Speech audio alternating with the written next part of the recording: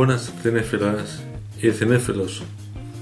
Hoy os voy a recomendar una comedia muy buena, aparte porque aparece no físicamente sino su voz en la versión original, uno de los reyes de la comedia, Seth Rogen.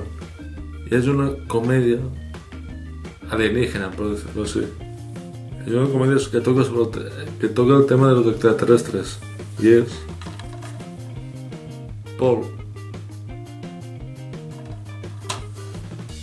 Que es muy buena. Y está llena de guiños a películas míticas de extraterrestres. Y son guiños muy sutiles, que pueden llegar desde una canción a una imagen hasta una palabra, o sea, un diálogo que hace referencia a la película. Y son muy sutiles. Pues está repleto de guiños a películas que tocan el tema de la ciencia ficción y alienígena. Y lo que os voy a decir ahora es cierto. Me diréis que. Muchos me diréis que os estoy vacilando, que es mentira, que me estoy quedando con vosotros, pero no, es cierto.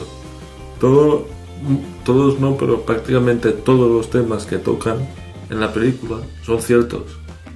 O sea, por ejemplo, de, del 100% se podría decir que un 80, un 70, un 70 80, 90% de los temas que tocan son ciertos y algunos han sido modificados un poco para que no puedan, no, les, no les metan en muchos problemas. Pero básicamente la película te habla de dos frikis, de dos personas diferentes, por decirlo así, porque todos ya sabéis que ser diferente no es malo, porque te hace diferenciar del resto del rebaño. Pues te habla de dos chicos que son fans de los de lo paranormal o sea, de los extraterrestres. Pues como todo fan de los extraterrestres deciden emprender un viaje, ellos dos solos en autocaravana, por los sitios más míticos, más conocidos en la ufología, por decirlo así, para cambiar de, para no repetirme tanto con las palabras. Acabando en el área 51, pasando también por el sitio más famoso donde se estrelló el famoso platillo de Roswell. Es que a mí también me gustan los. Yo también soy un fan de, de, los extraterrestres y con pruebas. O sea, no pruebas físicas, con pruebas. Pues em, emprenden un viaje que no solo. también son. paran en sitios que han salido en películas muy conocidas porque son dibujantes de cómic. O sea, son, los dos son dibujantes, pero uno de ellos tiene un cómic. Y en ese viaje les ocurre algo que les cambiará la vida para siempre, a mejor.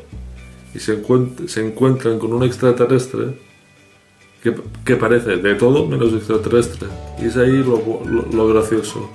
Y si queréis pasar un muy buen rato, os la recomiendo. Porque es que además no es la típica película de extraterrestres.